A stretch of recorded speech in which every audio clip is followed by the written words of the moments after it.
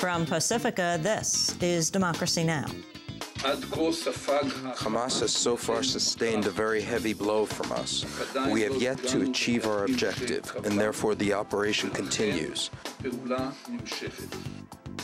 On the 10th day of Israel's assault on Gaza, five dead Israelis, over 500 dead Palestinians, nearly 2,500 wounded Palestinians in Gaza. Supplies of food, water, fuel, and electricity are running dangerously low, and hospitals are struggling to cope. But Israeli officials say there's no humanitarian crisis.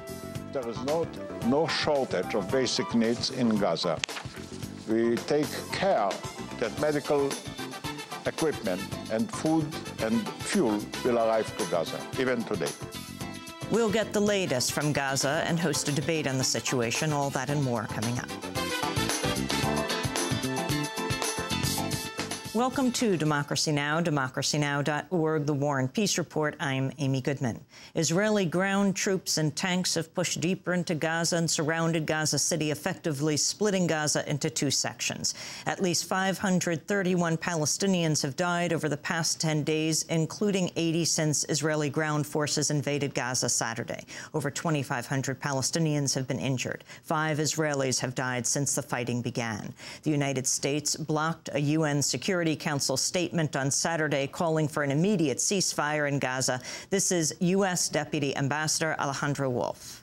This council has spoken on many times about the concerns we had about Hamas's military attacks on Israel. The charter of this organization respects the right of every member state to exercise its self-defense. And Israel's self-defense is not negotiable.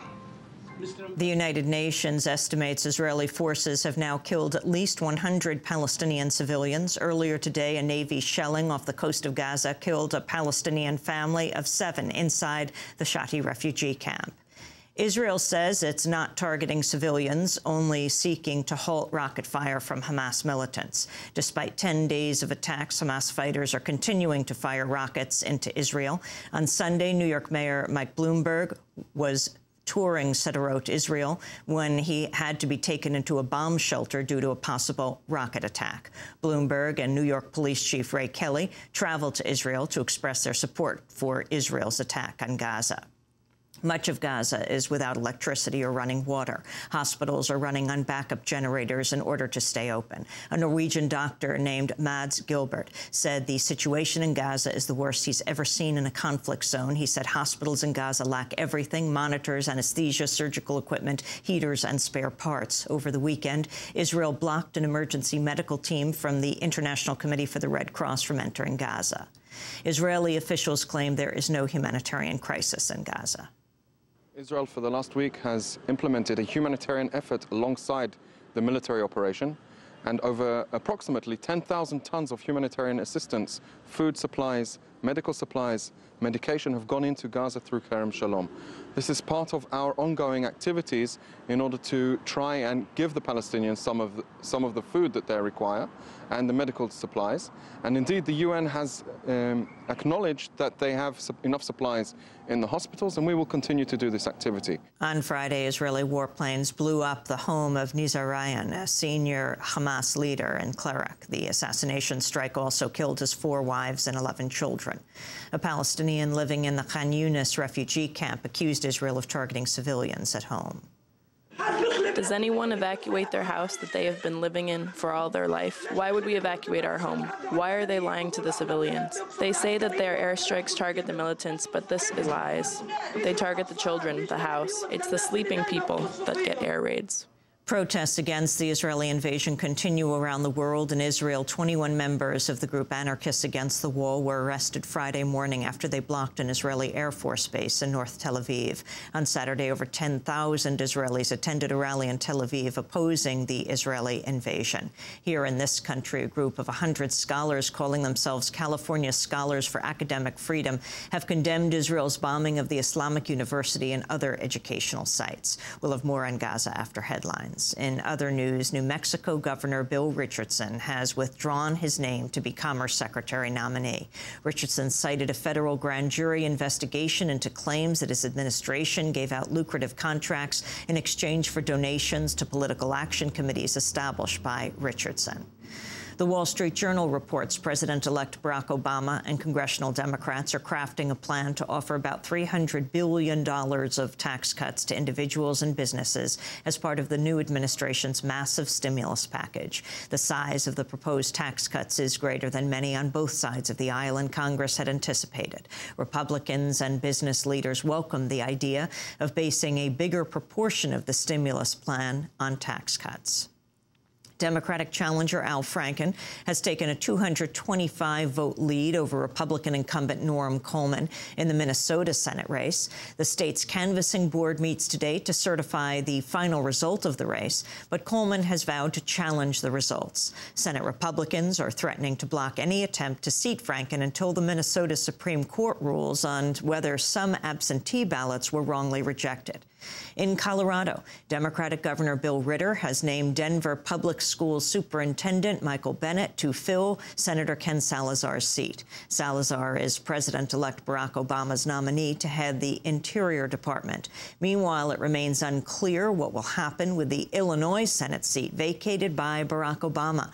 Last week, embattled Democratic Governor Rod Blagojevich appointed former Illinois Attorney General Roland Burris. But Senate Majority Leader Harry Reid is threatening to block Burris from taking his seat because of Blagojevich's recent arrest for trying to sell the seat to the highest bidder. The Republicans are pushing for a special election. In Tennessee, new tests have revealed high levels of arsenic in the water near last month's massive coal ash spill. Independent tests found the arsenic level to be as much as 300 times higher than drinking water limits. Two weeks ago, the walls of a retention pond holding the coal ash crumbled. Over 1 billion gallons of toxic coal ash spilled out, covering homes and roads. The Knoxville News Sentinel reports the Tennessee Valley Authority had known about problems in the retention pond for more than two decades, but opted not to pay for long-term solutions to the problem. In Baghdad, a female suicide bomber killed at least 40 people on Sunday in an attack outside one of Iraq's holiest Shiite shrines. The dead included 16 Iranian pilgrims. On Friday, another 23 people died in a suicide bombing inside the home of a tribal leader south of Baghdad. The attacks came just after a new U.S.-Iraq security agreement went into effect. Meanwhile, former U.S.-backed Iraqi Prime Minister Iyad Allawi has denounced the policies of President George W. Bush. Allawi said Bush's policies have been an utter failure that gave rise to the sectarian venom that ravaged his country. In news from Mexico, the number of drug-related killings more than doubled in 2008. The country's top prosecutor said more than 5,300 people died last year in drug-related attacks. Over 1,600 people died in the northern border city of Ciudad Juarez alone, a five-fold increase over 2007. The Sri Lankan military has captured the de facto rebel capital, uh, Kilinochchi. The military has also taken over other strongholds of the Tamil Tigers. For 26 years, the rebels have been fighting for a separate homeland in the north and east of the South Asian island. The Cuban government held a ceremony Thursday to mark the 50th anniversary of the Cuban Revolution.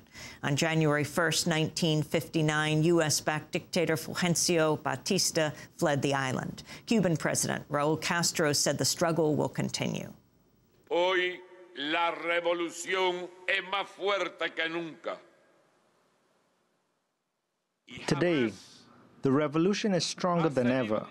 It has never ceded a millimeter of its principle in its most difficult moments. Not change in the least bit. No cambien lo más mínimo esa verdad que algunos pocos se cansen it's true that a few have tried and have even reneged its history, forgetting that life is an eternal battle. Es un eterno batallar. The airliner AirTran has issued an apology to nine members of a Muslim family who were removed from their plane and questioned by the FBI on New Year's Day. AirTran refused to rebook the family even after FBI agents said they had done nothing wrong. The nine passengers were flying from Reagan National Airport in Washington, D.C. to Orlando, Florida. A prominent activist in Austin, Texas, named Brandon Darby, has revealed he worked as an FBI informant in the 18 months leading up to the Republican National Convention. Darby's admitted to wearing recording devices at planning meetings and wearing a transmitter embedded in his belt during the convention. Darby's expected to testify on behalf of the government later this month in the trial of two Texas activists who were arrested at the RNC on charges of making and possessing Molotov cocktails. Darby's role as an FBI informant has shocked the activist community in Austin. Darby's best known as a founder of the New Orleans-based group Common Ground Relief which he helped start after Hurricane Katrina.